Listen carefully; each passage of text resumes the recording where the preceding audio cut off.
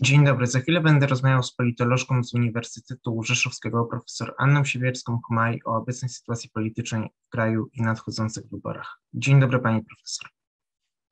Dzień dobry panie redaktorze, dzień dobry państwu. Wkrótce wybory parlamentarne. Jak pani sądzi, czy opozycja w obecnej kondycji ma szansę je wygrać, zwłaszcza, że ugrupowanie rządzące zamierza zmienić ordynację wyborczą? No chciałabym być prorokiem, ale trudno powiedzieć, zwłaszcza, że sytuacja się trochę skomplikowała po sobotniej deklaracji Szymona Hołowni, że jednak startują z osobnej listy. To na pewno trochę, mm, trochę popsuje szyki opozycji, yy, zwłaszcza te kalkulacje na jedną listę, yy, ale no wciąż yy, mam nadzieję, jako nawet już teraz mówię o tej nadziei nie tyle jako politolog, co jako Polka, której zależy e, na tym, żeby jednak w naszym kraju była demokracja i praworządność, że opozycja weźmie się w garść i mimo tych perturbacji ma jednak szansę y, no nie tylko wygrać wybory, ale wygrać je na tyle wysoko, żeby e, mieć realny wpływ na przywrócenie praworządności w naszym kraju. A właśnie, jeżeli chodzi o te perturbacje, o których Pani powiedziała po stronie opozycji, wszystko, e, wszystko wskazuje na to, że będą cztery listy. Koalicja Obywatelska, Lewica, PSL zamierza z kimś jeszcze nie wiadomo z kim, i Polska 2050. I jeżeli będą cztery listy, być, być może e, ich może ewentualnie mniej, ale minimum to cztery listy, minimum to cztery listy, ewentualnie może więcej, to czy opozycja, jeżeli pójdzie w takiej konfiguracji, to czy opozycja właśnie ma szansę wygrać z Zjednoczoną Prawicą?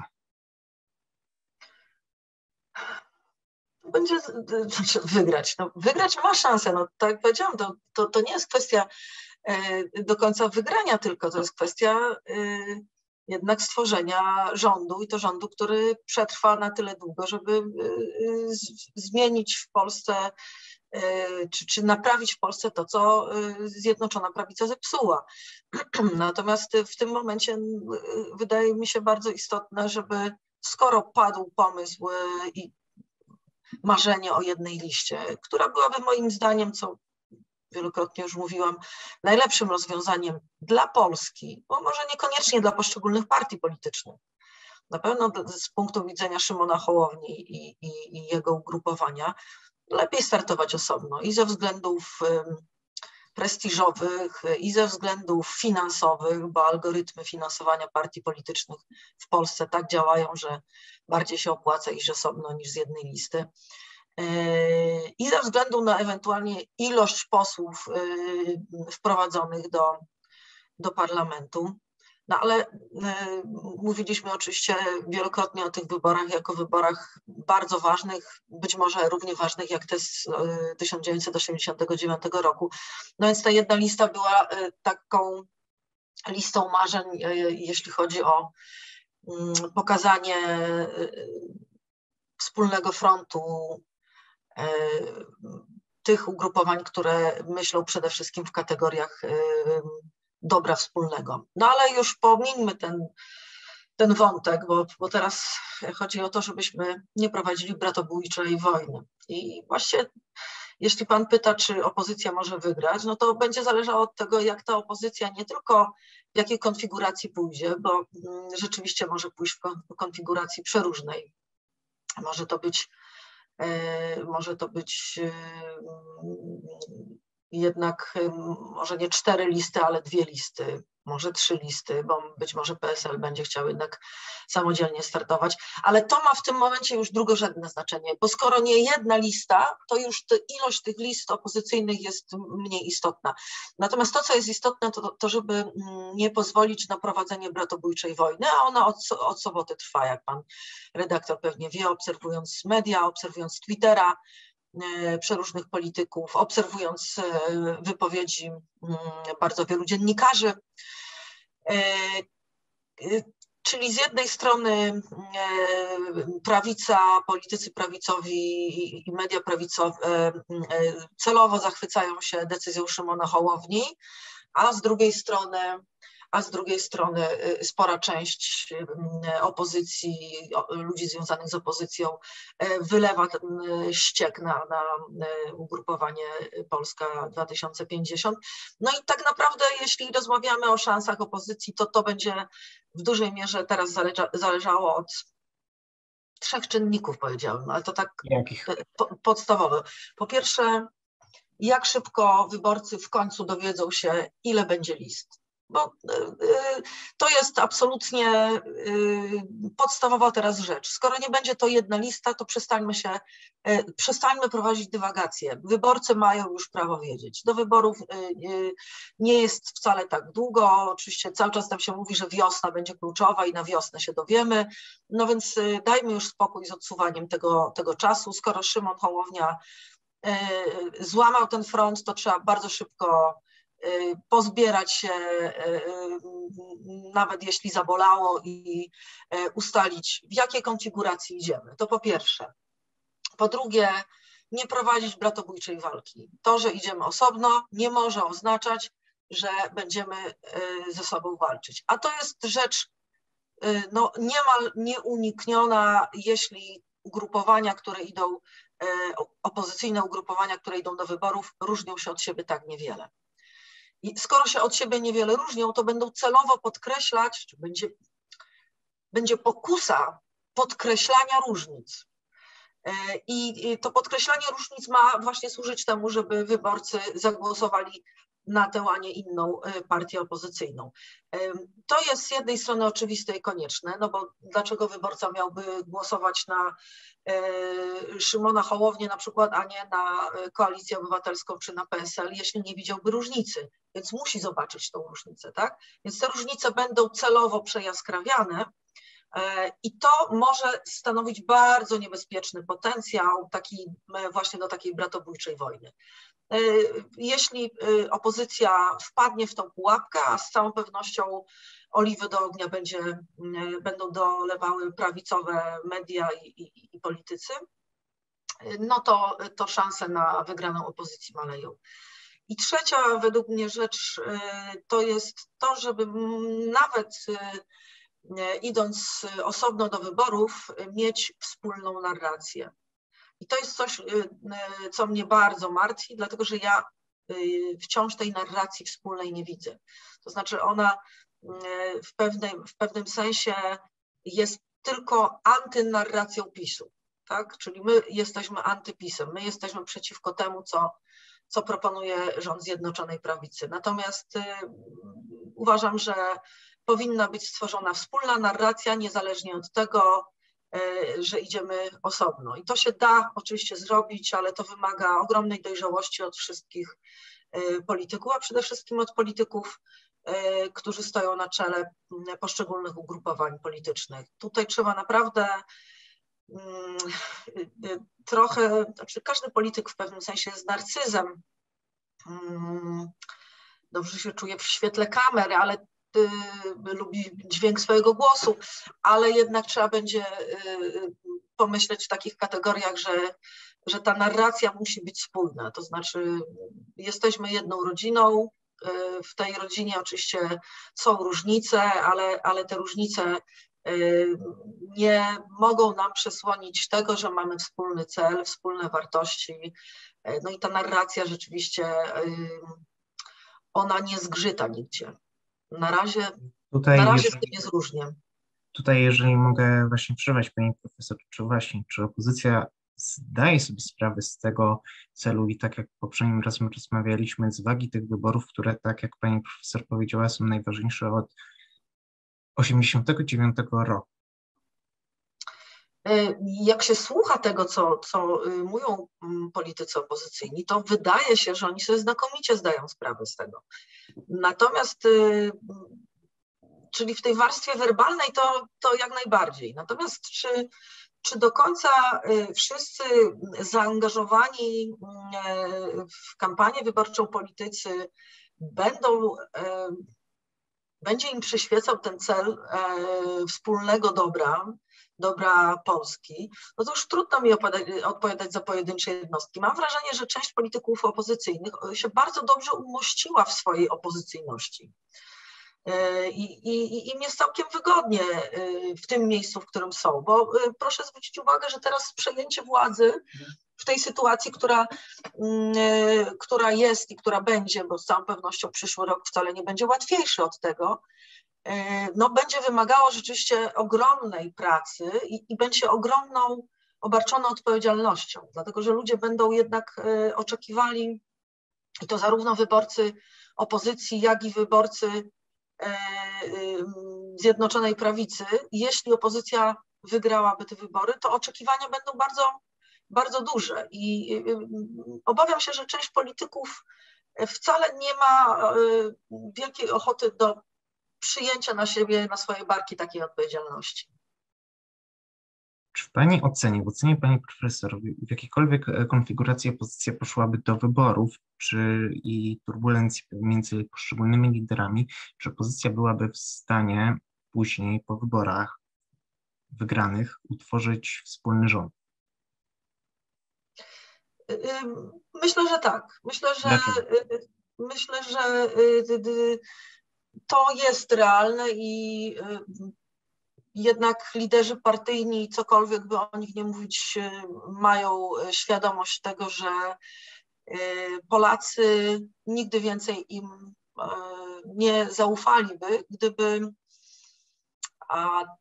to wzmożenie, które jest rzeczywiście w tej części polskiego społeczeństwa, która ma dość władzy Prawa i Sprawiedliwości, gdyby to poszło na marne. To znaczy, gdyby gdyby z jednej strony udało się wygrać wybory, ale nie udałoby się stworzyć e, rządu, który byłby w stanie no, rządzić wystarczająco długo i sprawnie, żeby odwrócić pewne procesy zapoczątkowane e, przez Zjednoczoną Prawicę. Więc oczywiście nie, nie, ma teraz sensu wchodzić w arytmetykę, dlatego że dopóki nie wiemy z ilu list będą rzeczywiście startować partie opozycyjne, to już wszystkie nasze obliczenia wzięły w łeb, bo, bo wcześniejsze obliczenia albo dotyczyły jednej y, listy, albo dotyczyły dwóch list. Dzisiaj nie wiemy y, do końca, y, jak to będzie wyglądać po stronie opozycyjnej, a tutaj różnica nawet nie procentowa, ale w ilości wprowadzonych posłów ma znaczenie, prawda? Więc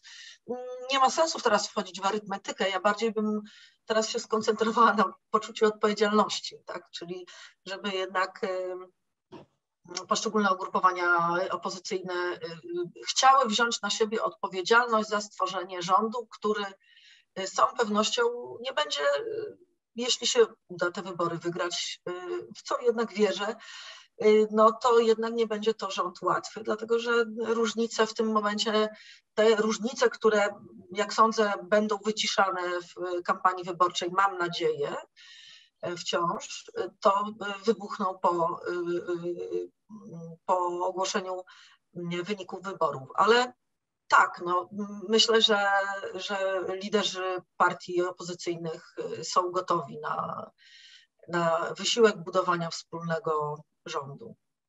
I właśnie tutaj bym też wrócił do tego, co pani profesor powiedziała, mianowicie, że niektórym politykom e, opozycji jest poniekąd dobrze w byciu w opozycji, ponieważ zdają sobie sprawę z tego, mm, na jakich płaszczyznach i jak trudno będzie naprawiać państwo w wielu dziedzinach. Mianowicie, czy nie obawia się Pani, że PiS swoimi programami socjalnymi rozbudził w społeczeństwie tak duży apetyt, że naprawa finansów publicznych i przywrócenie demokracji może być zbyt dużym wyzwaniem dla polityków, a cena zbyt wysoka, za którą nie każdy obywatel będzie chciał zapłacić i właśnie w wyniku tego, jakby opozycja wygrała, to może się ta cena okazać tak duża, że ta cena może okazać się tak duża, że, że tą cenę kosztu mogą wykorzystać, wykorzystać inne ugrupowania, inne ugrupowanie populistyczne i, i może dojść do władzy.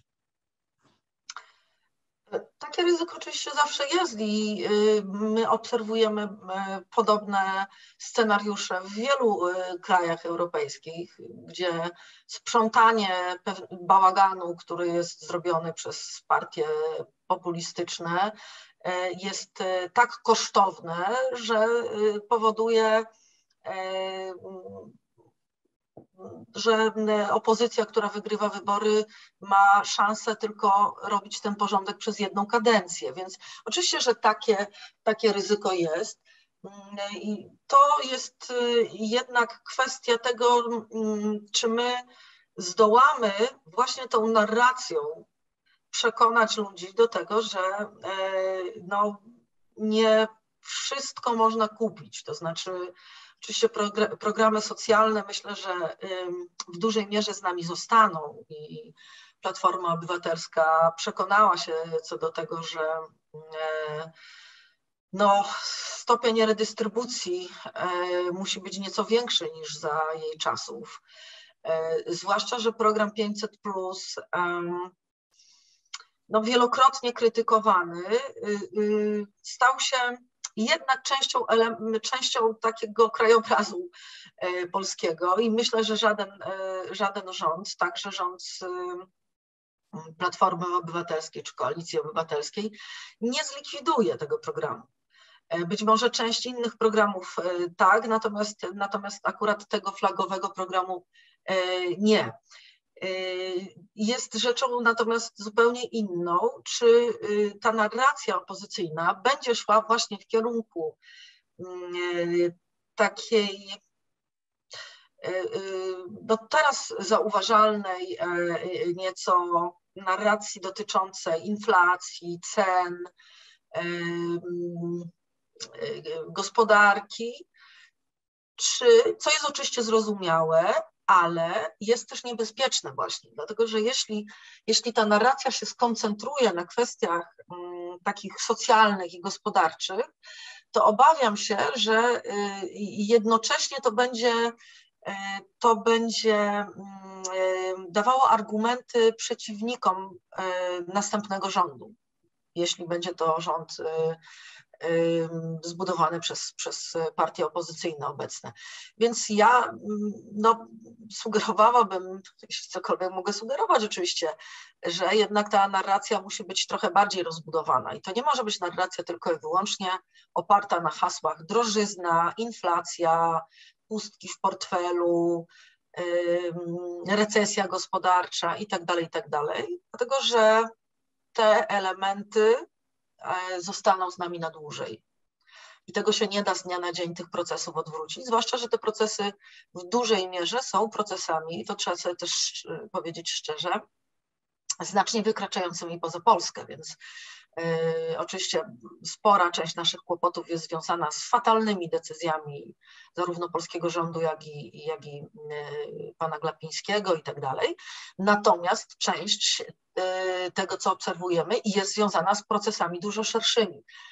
I to jest to ryzyko koncentrowania się tylko i wyłącznie na kwestiach właśnie socjalno-gospodarczych i ta narracja musi być szersza, czyli ta narracja musi jednak mówić o społeczeństwie obywatelskim, o przywróceniu godności nauczycielom, o przywróceniu roli szkolnictwa w Polsce, edukacji, o odbudowie nie tylko sądownictwa i, i, i praworządności, ale także o przywróceniu zaufania Polaków do instytucji państwa, do instytucji sądów, do instytucji nauki. Czyli, czyli musi być to taka narracja mm, mówiąca mm, o wartościach, y, narracja mocno przesiąknięta E, pewnymi ideami, e, których e, mam wrażenie czasami opozycja się boi wykorzystywać. To znaczy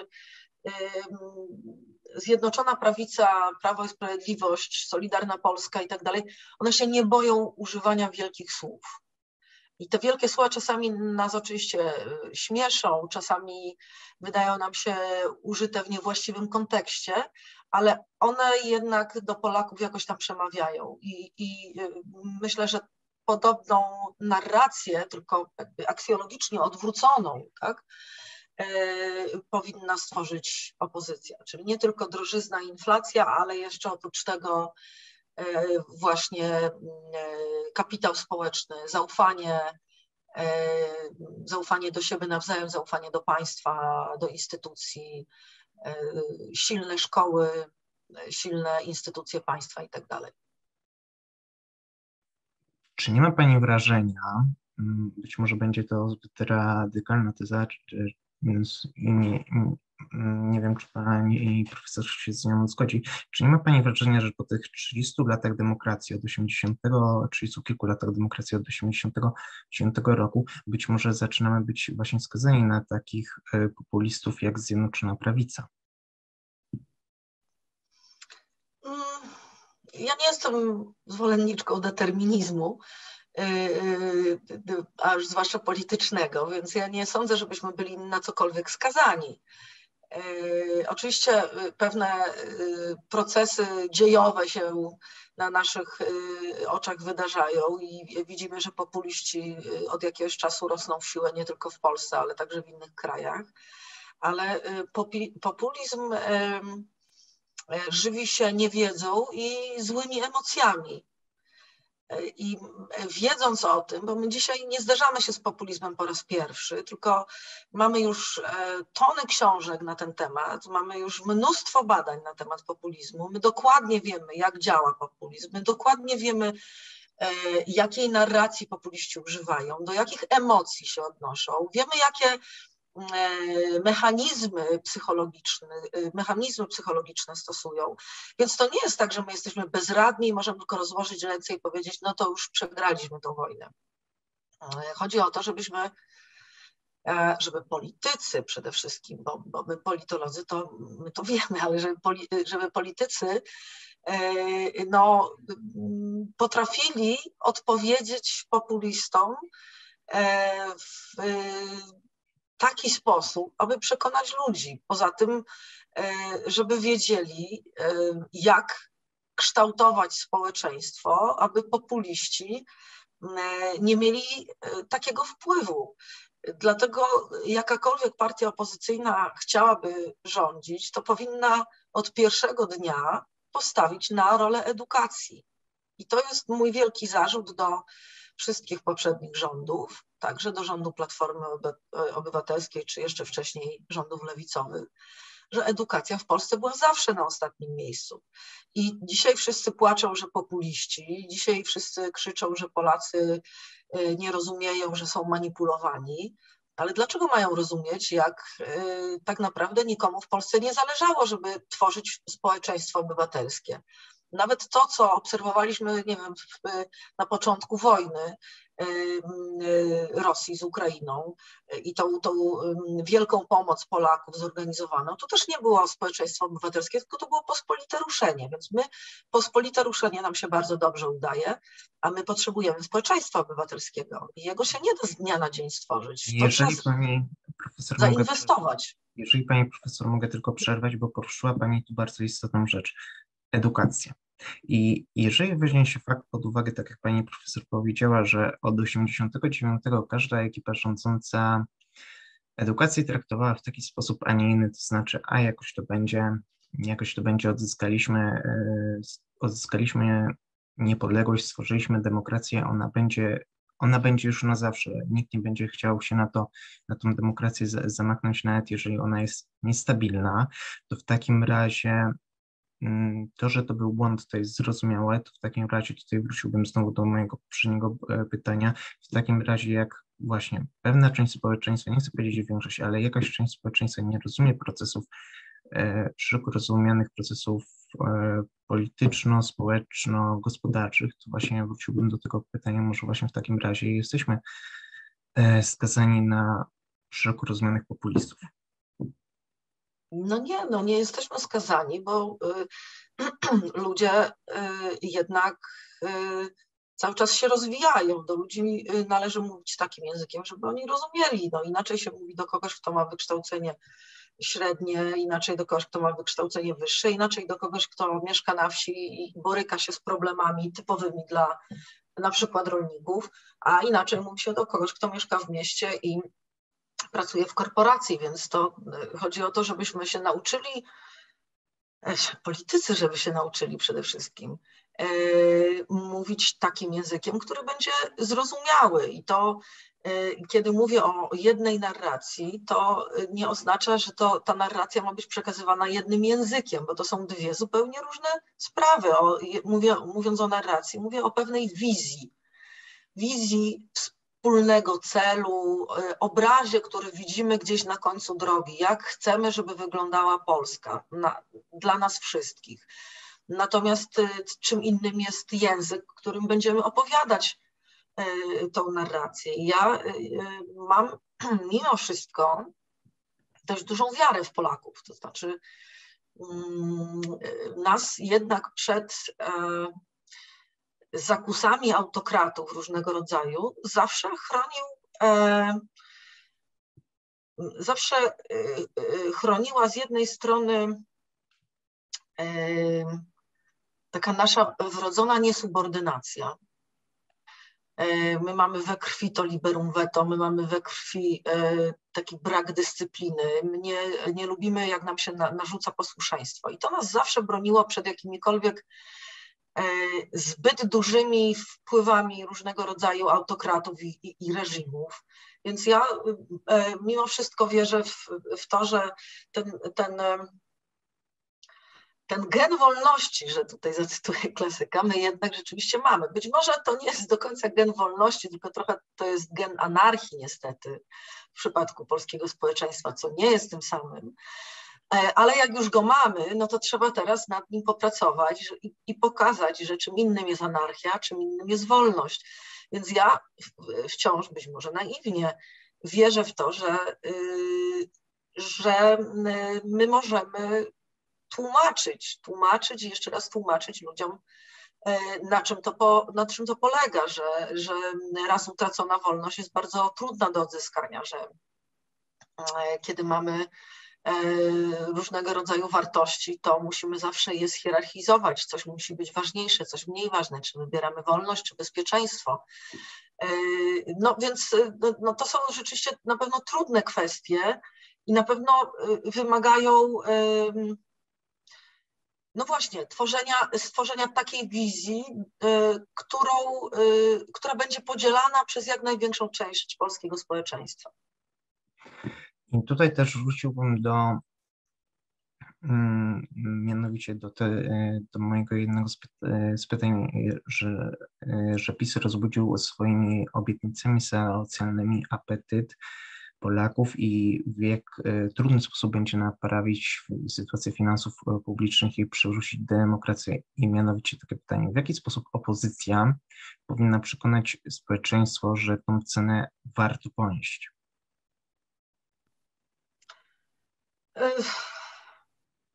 Po pierwsze, nie robiłabym rewolucji.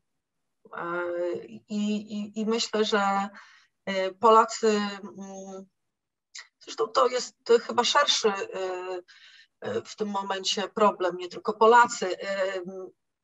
Generalnie ludzie są teraz bardzo mocno zlęknieni, zaniepokojeni, są przepełnieni jakąś taką niepewnością dotyczącą przyszłości.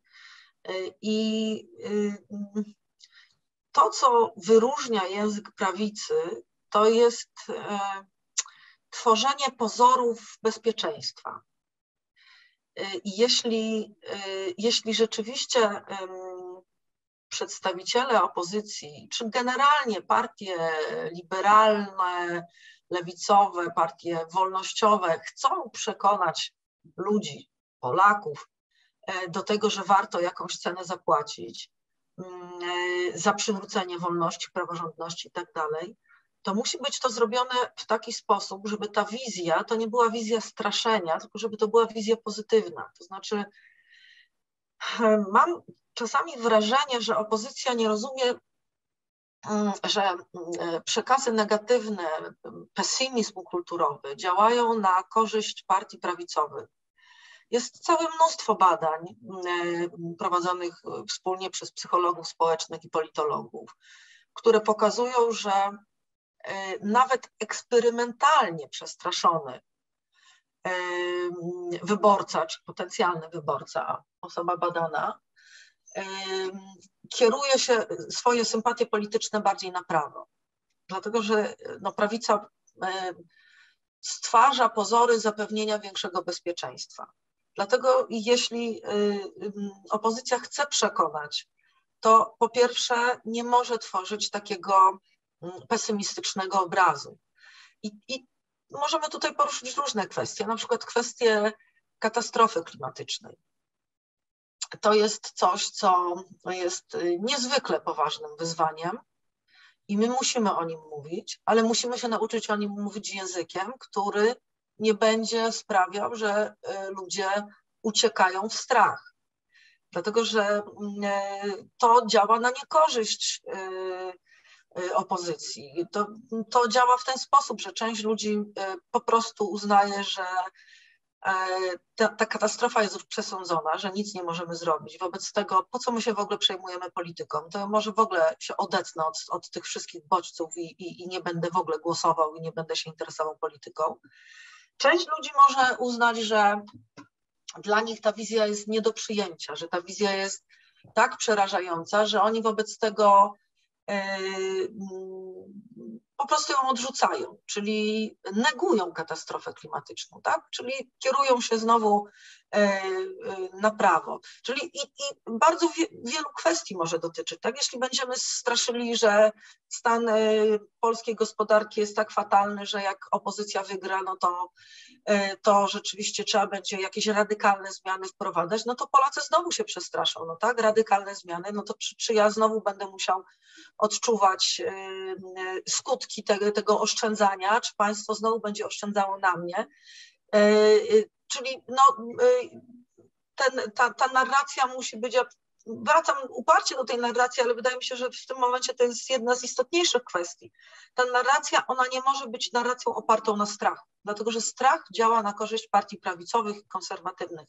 I to jest potwierdzone w badaniach nie tylko polskich, ale amerykańskich, brytyjskich. No generalnie badania y, y, wskazują, że strach działa na korzyść partii prawicowych i konserwatywnych. Powiedziała Pani e, profesor o partiach konserwatywnych i prawicowych. Niedawno w Brazylii doszło do podobnych wydarzeń, które miały miejsce w 2021 w Stanach Zjednoczonych. I czy w Pani ocenie po przegranych wyborach przez Zjednoczoną Prawicę taki sam scenariusz może się powtórzyć również w Polsce?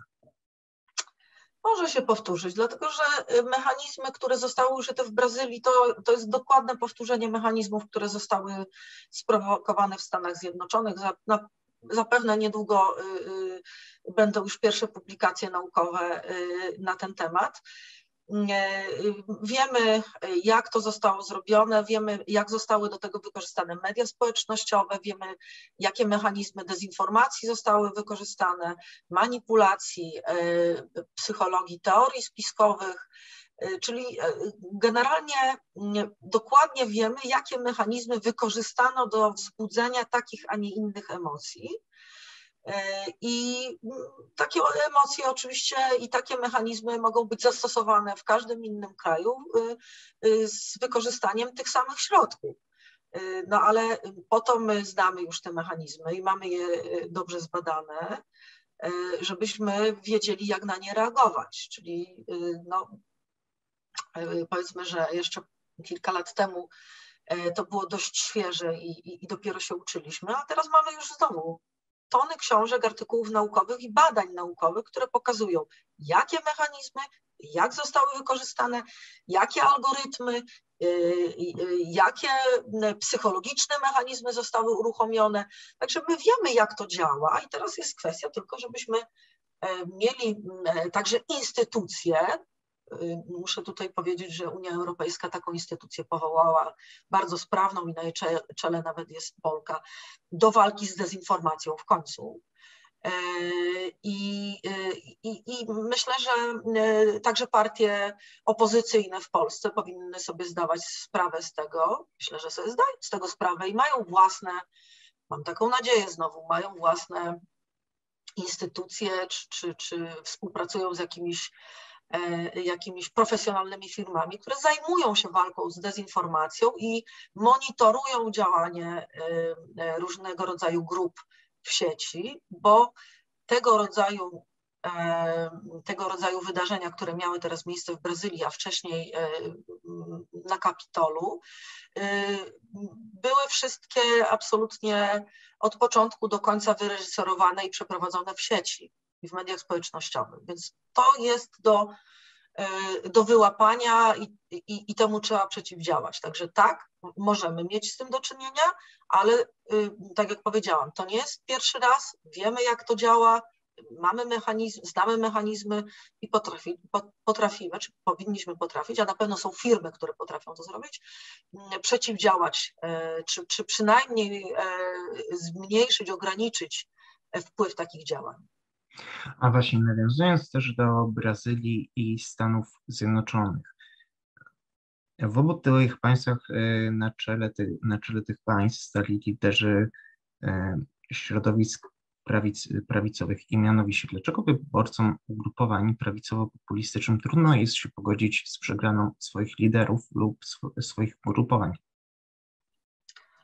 Hmm, musiałabym, tutaj, musiałabym tutaj zrobić e, trochę e, długi wykład z psychologii społecznej e, i opowiedzieć o różnicach w postrzeganiu rzeczywistości przez osoby, które mają bardziej liberalny stosunek do rzeczywistości i o tych, które mają bardziej konserwatywny. Te osoby, które mają bardziej konserwatywny stosunek do rzeczywistości, generalnie cechują się tak zwaną zamkniętością poznawczą, są bardziej zamknięte poznawczo. Tutaj jest bardzo wiele e, mechanizmów psychologicznych, które, które to e, opisują. To są takie osoby, które mm, Y, mają uproszczoną wizję świata, kiedy widzą coś skomplikowanego, to bardzo szybko chcą złapać prostą odpowiedź na to skomplikowane pytanie, a jeśli już ją otrzymają, to utwierdzają się w tym przekonaniu, czyli mają bardzo małą elastyczność, jeśli chodzi o, o zmianę zdania. W przeciwieństwie do osób o poglądach liberalnych, które mają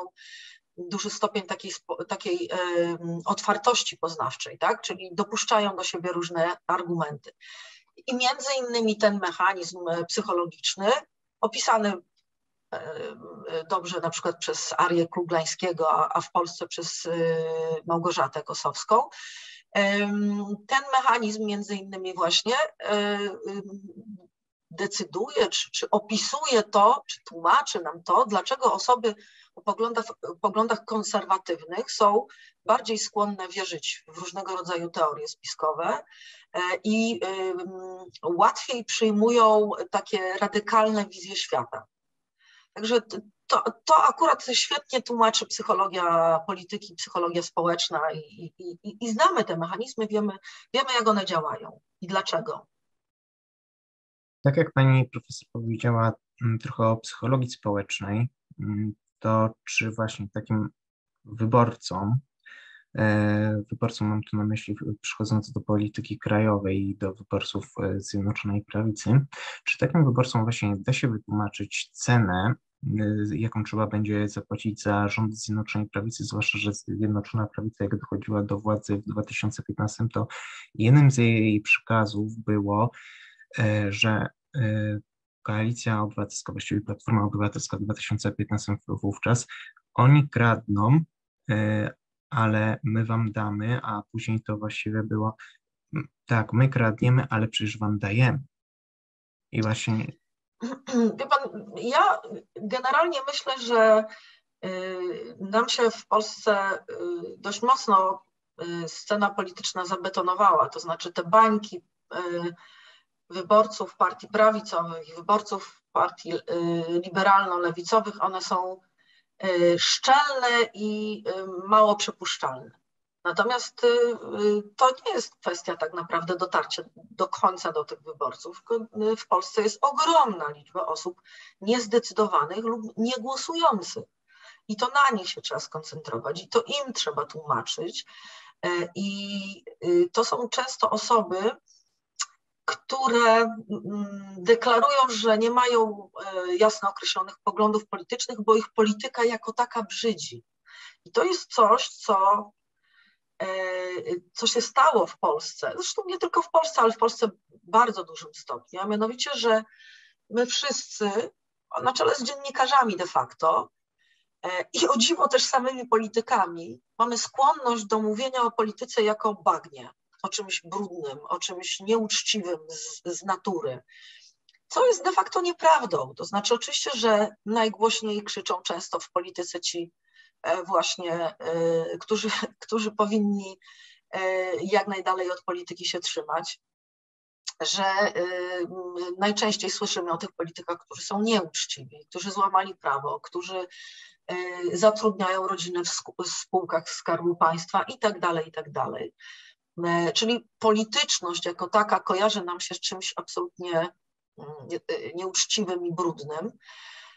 Ale z drugiej strony, no statystyka jest nieubłagana i jakbyśmy tak statystycznie popatrzyli, to po pierwsze większość polityków mimo wszystko jest uczciwa, mniej lub bardziej, ale uczciwa, tak? Yy, tylko, że to są często osoby, które są najmniej widoczne.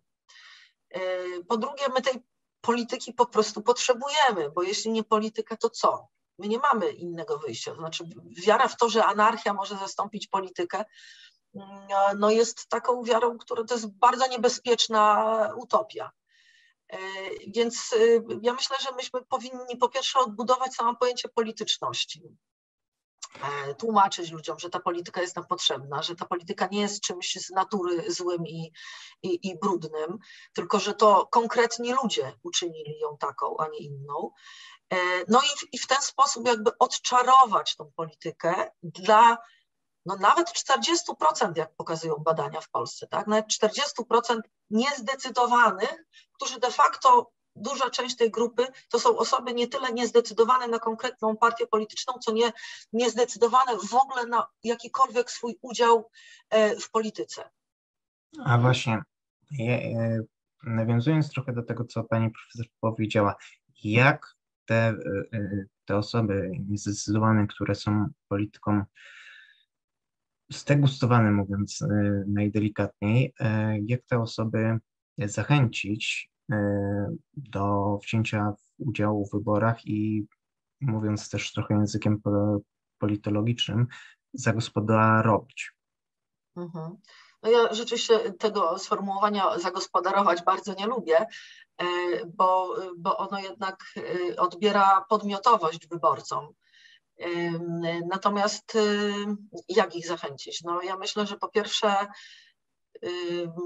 w Polsce absolutnie trzeba odbudować kulturę polityczną. Polska kultura polityczna w tym momencie jest na tak niskim poziomie i my, my się wszyscy do tego przyczyniamy. No, myślę, że i, i, i, we własne piersi w pierwszej kolejności się e, powinniśmy bić, także, także my komentatorzy polityczni, którym często puszczają nerwy i, i którzy często używają słów, które być może nie powinny być E, e, być mówione. Czyli tą kulturę polityczną powinniśmy absolutnie odbudować. De facto na tym powinno zależeć wszystkim partiom politycznym, no, nie tylko opozycyjnym, bo e, w gruncie rzeczy, jeśli, jeśli rzeczywiście społeczeństwo straci jakąkolwiek wiarę w, w, sens polityki jako takiej, no to, to, to, to się odwróci przeciwko, przeciwko państwu, instytucjom i osobom z państwem związanym.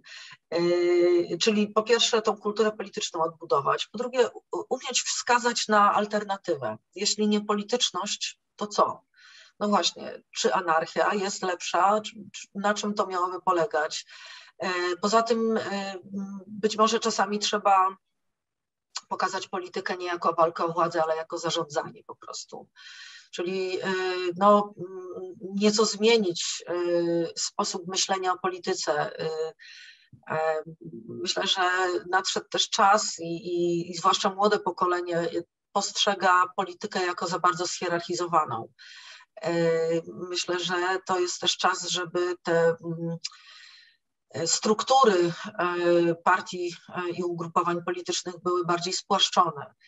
E, także to jest e, działanie, ale to jest działanie obliczone na lata. To nie, to nie jest coś, co, co się da zrobić w ciągu w przeciągu jednego roku, a już na pewno nie do wyborów. Natomiast z całą pewnością ten proces powinien, się, y, powinien się zacząć. No i, i, kolejna rzecz to absolutnie trzeba zwiększyć w, w, udział i wpływ młodych ludzi na politykę. W tym momencie polityka stała się y, synonimem jakiejś takiej dziaderskości. To też jest pojęcie, którego bardzo nie lubię i obraźliwe, ale rzeczywiście dla młodych ludzi polityka stała się e, czymś takim, co śmierdzi naftaliną i w ogóle bardzo źle się kojarzy. No więc e, trzeba znaleźć jakiś, e, znaleźć mm, jakieś rozwiązanie, jakiś język nowy, żeby trafić do młodych ludzi, pokazać im, że w gruncie rzeczy to o nich właśnie chodzi. W tym momencie mam wrażenie, że wszystkie partie polityczne stawiają przede wszystkim na starszy elektorat i to jest y, bardzo smutne. A właśnie, też nawiązując do tego, co pani profesor powiedziała o odbudowie debaty publicznej, szeroko rozumianej debaty publicznej, kultury politycznej, to bym zadał takie pytanie, już zbliżając się powoli do końca rozmowy. Jak y, to zrobić, zwłaszcza, że szeroko rozumiana polaryzacja polityczna de facto służy y, każdemu z y, ugrupowań? Służy, ale to jest bardzo krótkowzroczne myślenie. To znaczy, rzeczywiście te elektoraty, które są spolaryzowane i zradykalizowane, zamknięte w swoich bańkach, no to one są takie trochę rzeczywiście ślepe na argumenty drugiej strony. E, ale y, po pierwsze, to bardziej służy jednak partiom prawicowym, właśnie ze względu na to, że ich wyborcy mm, e, no, mają nieco inną mentalność niż wyborcy partii liberalnych którzy są bardziej skłonni do zmiany. Po drugie, myślę, że politycy, jeśli sobie nie zdadzą sprawy w którymś momencie z tego, że no, jest to jednak kwestia myślenia w kategoriach dobra wspólnego, to nastąpi jakaś gwałtowna zmiana, która w ogóle zmiecie obecne struktury. E, z, z, z pola widzenia. I to jest oczywiście bardzo niebezpieczne.